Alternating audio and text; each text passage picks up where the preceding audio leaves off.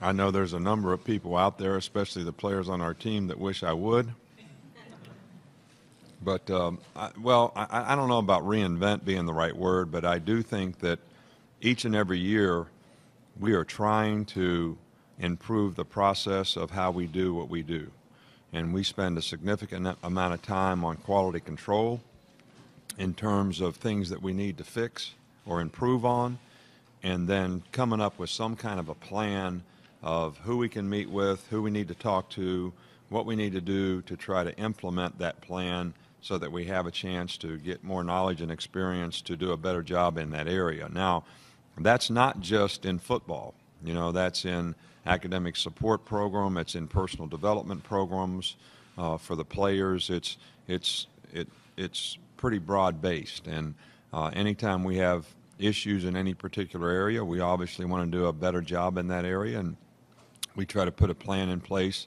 So uh, I think there's a lot of changes. We're not locked into doing things the way we've always done them. If there's a better way to do it.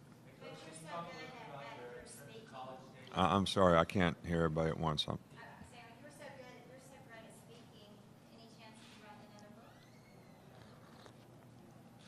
what's the correlation between speaking and writing a book?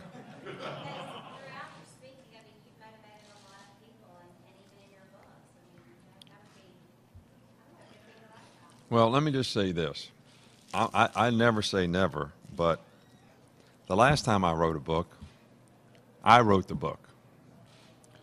I took it on vacation, and every day I sat there and crossed it out and wrote it myself because I wanted it to be representative of who we were and it, and it to be a very good book. And, and right now, with all the challenges that we have in so many other areas, I don't really want to make the time commitment. So maybe one of these days, somewhere down the road, we'll certainly consider it.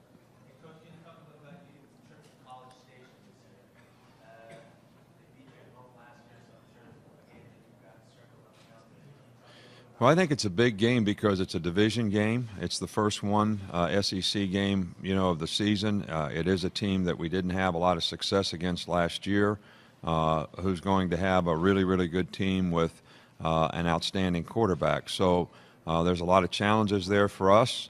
Um, division games are almost worth two games because you lose all the tiebreakers if you lose one. Uh, so, you know, it, it's an extremely important game and.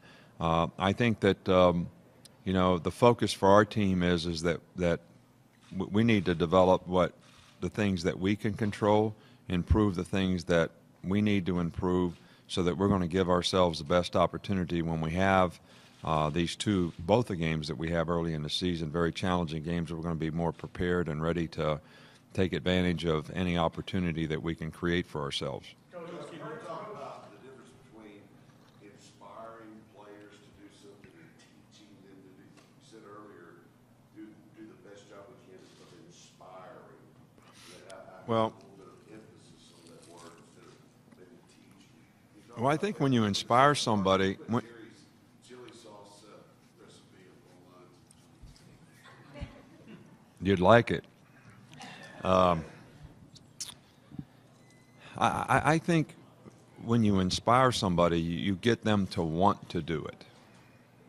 You, you create a, a, a motivation within them to want to do it when you teach somebody something, they may or may not want to do it.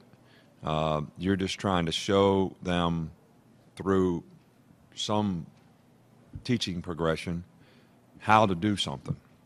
They may not want to do it.